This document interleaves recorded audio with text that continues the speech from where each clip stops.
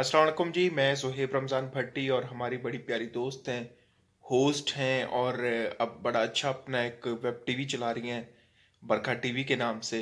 मैं बात कर रहा हूँ गज़ल शाह की, उनको बहुत बहुत सालगिरह मुबारक और मैं दुआ करता हूँ कि अल्लाह उनको इस तरह के कई साल जो है वो खुशियों के और लंबी ज़िंदगी के अता फरमाए। आमीन।